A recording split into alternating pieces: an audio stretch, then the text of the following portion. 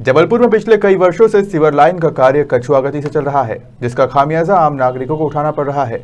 मामला रामपुर छापर क्षेत्र का है, जहाँ पिछले कई दिनों से सिविल लाइन का कार्य चल रहा है, जिससे लोग हादसे का शिकार हो रहे हैं। दरअसल स्थानीय नागरिक इस निर्माण कार्य के कारण हादसे का शिकार हो रहे हैं। वहीं नगर निगम के अधिकारियों को इस बात से कोई लेना देना नहीं है।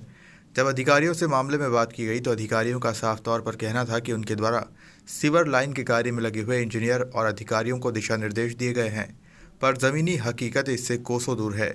वहीं देर रात रामपुर छापर क्षेत्र में सीवर लाइन के कार्य के चलते एक व्यक्ति हादसे का शिकार हो गया और बुरी तरह से घायल होकर बेहोश हो गया, जिसे स्थानीय लोगों के द्वारा अस्पताल पहुँचाया। हाँ अभी ये जैसा कि आप देख रहे हैं कि ये क्या है, यहाँ से विगत डेढ़ दो वर्षों से सीवर लाइन का काम चल रहा है और गड्ढे खोद के छोड़ दिए गए हैं, चैम्बर जो हैं वो रोड से ऊपर हैं, कहीं पे प्रॉपर फिलिंग नहीं है और अभी कुछ देर पहले ही एक बंदा जो गरीब मजदूर था, साइकिल से आ रहा था और उस चैम्बर के ऊपर से उसकी साइकिल फिसल गई और वो गंभीर रूप से घायल हो गया उसके सिर पे नाक आँख में चोट है और उसको अभी हमने 108 को कॉल करके हमने अभी उसको मेडिकल बुलाया कि ताकि उसको चिकित्सा सुविधा जल्द से जल्द उपलब्ध हो सके। तो सबसे बड़ी बात यह कि यहाँ पे इतना ट्रैफ़िक रहता है और इतनी भीड़ भाड़ वाला इलाका है और इस पर बिल्कुल भी ध्यान नहीं दिया जा रहा कि कम से कम सीवर का काम जल्द से जल्द कंप्लीट करें और जो जहाँ खुदाई हो भी रखी है तो उसको कम से कम हम लेवल कर दें पहले कंप्लीट करें और लेवल कर दें। जहाँ तहाँ गड्ढे खोद के छोड़ दिए गए हैं और आए दिन ये दुर्घटना हो रही है। आए दिन कोई ना कोई हादसा होता रहता है कोई गंभीर रूप से घायल होता है। तो सरकार इसी चीज़ का इंतज़ार करेगा किसी दिन यहाँ पे किसी की बलि चढ़े। इसकी कंप्लेन कभी करें आप लोग कई बार कंप्लेन की है।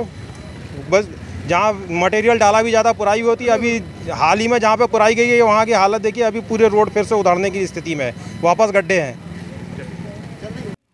नहीं इस संबंध में अभी आज ही आयुक्त महोदय के द्वारा निर्देश दिए गए हैं जो सीवर लाइन का काम देख रहे हैं। उनके इंजीनियर को। और ये अभी आपके आने के आधे घंटे पहले ही जो है वीसी में निर्देश दिए हैं आयुक्त महोदय ने। तो उनका कहना है कि इसको हम प्राथमिकता से एक दो दिन के अंदर इसको हम ठीक करा लेंगे। क्योंकि वो पीडब्ल्यूडी और हमारा सीवर का वो उसमें सामंजस्य नहीं बैठ पाया था और एक दूसरे से बात नहीं हो पाई थी। इसके कारण ये स्थिति निर्मित हुई है। लेकिन अब आगे से दोनों विभागों को सचेत किया गया कि वो एक दूसरे समन्वय बनाकर ही काम करें और इस तरह की स्थिति अब निर्मित नहीं होगी।